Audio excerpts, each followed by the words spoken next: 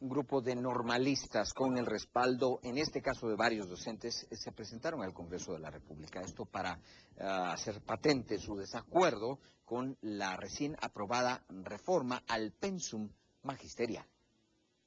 Estudiantes normalistas llegaron este día para manifestar frente al Congreso de la República su inconformidad sobre las reformas al magisterio, bajo la esperanza de que los diputados puedan hacer algo y evitar su entrada en vigencia. El principal motivo siempre hemos recalcado desde el inicio de, la lucha, se ha podido decir, es eh, la eliminación de la propuesta. Hoy venimos aquí ya que la ministra de Educación está aquí con la Comisión de Educación y varios representantes de estudiantes de del occidente, del oriente y también de la capital.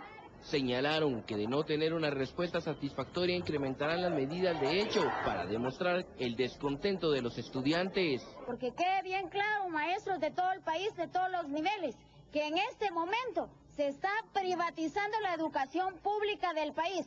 Y estén en alerta. ¿Por qué? ¿Qué significa eso? Va a desaparecer el 1485, se va a modificar la ley de Educación Nacional.